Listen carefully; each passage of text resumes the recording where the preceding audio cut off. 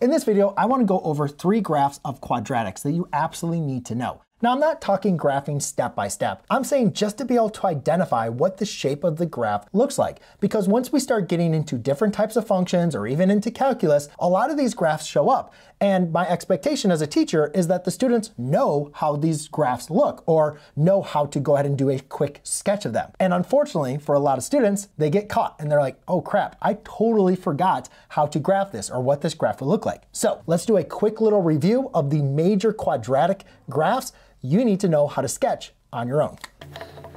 Okay, so in this case, eh, the first one would be this binomial x squared plus 4x. And I think the most important thing in this problem is just really identifying, we can quickly identify what the x-intercepts are. If I go ahead and replace my y with 0, and then I'm going to have an x squared plus a 4x. Now I can go ahead and factor out a x, so 0 equals a x times x plus 4, and therefore using the zero product property, x is equal to 0, and x plus 4 is equal to 0, so x equals a negative 4. So again, when we're solving for x when y is equal to 0, these are going to represent our x-intercepts. The only other thing we need to understand or look at is what our coefficient of our x squared is. If that's positive, we know our graph opens up.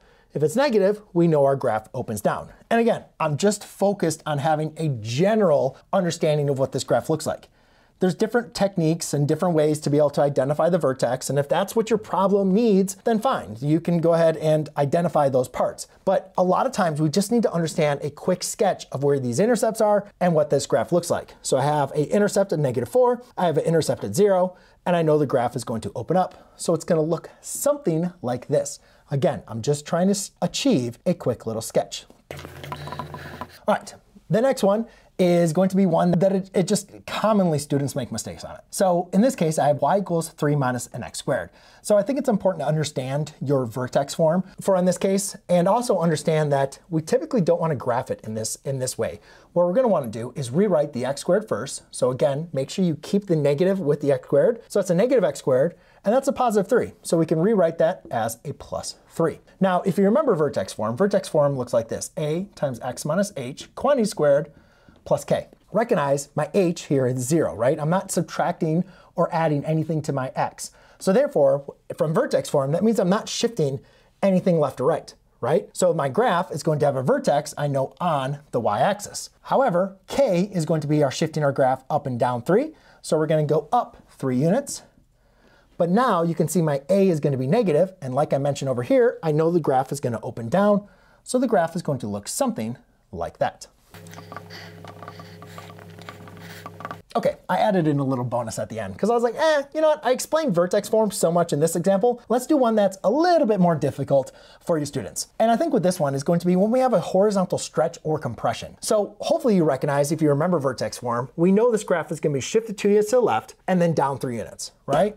And most students will kind of see that. We know A is positive, so we know it's opened up. So we go down negative two, or left negative two, and then down three. Okay, I got my vertex. I know it's gonna open up to the left and up to the right. Students need to understand how we deal with when we have a horizontal stretch or compression. So to do that, let's go back and just review our parent graph of x squared.